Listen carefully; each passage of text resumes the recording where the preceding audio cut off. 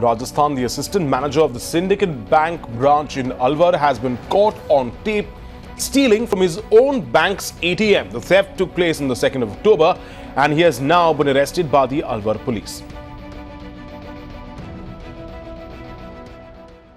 हाँ, दिनांक तीन दस को कोतवाली थाने में सूचना मिली कि सिंडिकेट बैंक का जो एटीएम है उसमें किसी ने रुपए निकाल लिए हैं और जाके देखा तो प्रथम दृष्टिया जो सूचना मिली कि तोड़फोड़ नहीं थी और जो उनके अलग अलग कंपार्टमेंट्स होते हैं, उस कंपार्टमेंट्स में से दो में से जो है उनके, रुपए निकले हुए थे। तो मौका देखने से ये लगा कि कोई ना कोई जानकार आदमी है जो इसमें संलिप्त है और उसकी कारगुजारी हो सकती है। टेक्निकली जो चीज़ का पता लगा उससे एक आदमी के ऊपर जाकर शक की सुई ठहरी।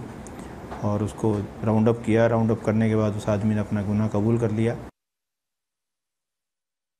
My colleague Arvind Singh is now joining us on the phone line. Arvind, this is a truly uh, bizarre story where the assistant manager of a bank is seen uh, robbing his own ATM. Uh, tell us the, a little bit of the backstory here.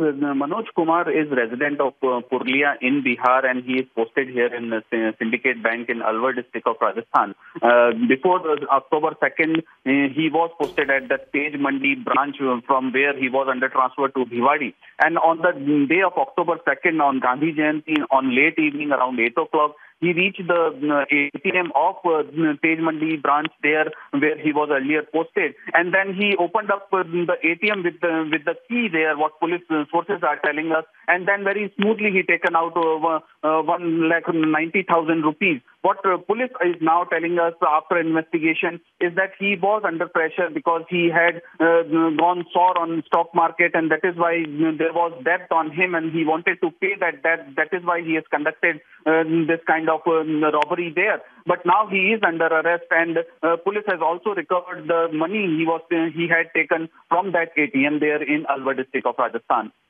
Right. So uh, this assistant manager of this bank